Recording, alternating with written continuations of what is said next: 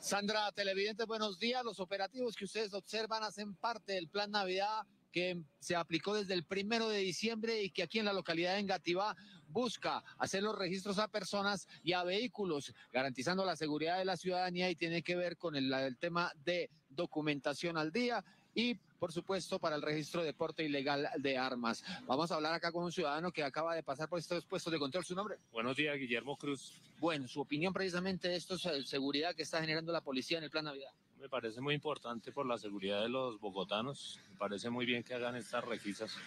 Ok, esa es la, lo que estaban comentando algunas de las personas que llegan a estos puestos de control para eh, ser... Eh, por supuesto, objeto de registro por parte de las autoridades. Nos encontramos con el mayor Germán González, comandante encargado de la localidad Engativá Mayor. El resultado de estos operativos desde el primero de diciembre.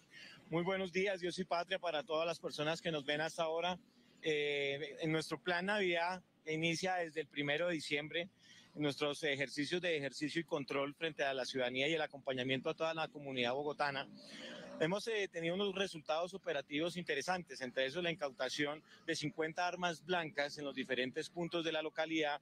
Eh, en el registro de personas también hemos encontrado dos armas de fuego incautadas, una en el barrio Garcés Navas y otra en el barrio Sector Las Ferias, eh, la cual una fue con captura, porte ilegal, se dejó a disposición de la autoridad competente. Usted me comentaba de dos importantes capturas también con orden judicial. Sí, señor.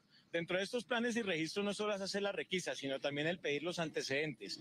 Eh, se han dado la captura de dos, sujetos eh, por homicidio, ambos. Eh, eso fue en el sector del Garcés Navas. Importante captura porque es una persona que venía dedicado a este flagelo. Mayor, muchas gracias. Las imágenes que ustedes observan, continuamos hablando con las personas que llegan a estos puestos de control para donde la policía garantiza la seguridad de los ciudadanos. Mi señora, buenos días. Recáleme su nombre, por favor. Ay, no, no. ¿Su nombre? Joana. Joana, ¿qué opinión tiene usted precisamente de la seguridad que se presta en estos puestos de control a propósito de Navidad? Eh, la primera vez que me paran, la verdad. Entonces, pues nunca lo había utilizado pero le da una sensación de seguridad, permite que, las personas en la comunidad, en la localidad engativa estén un poco más seguras. Pues la verdad es que no había visto nunca uno así, por eso le digo que es la primera vez que me paran, entonces no, nunca lo había utilizado, la verdad. Ok, esa es la sensación de la gente, precisamente que se sorprende también de estos operativos. Caballero, buenos días. ¿Qué opinión tiene usted de estos operativos que realiza la policía? Pues la verdad son buenos, pero me, quitan a uno tiempito porque va uno a trabajar y yo tengo negocio, tengo una panadería y voy tarde. Pero los operativos son buenos.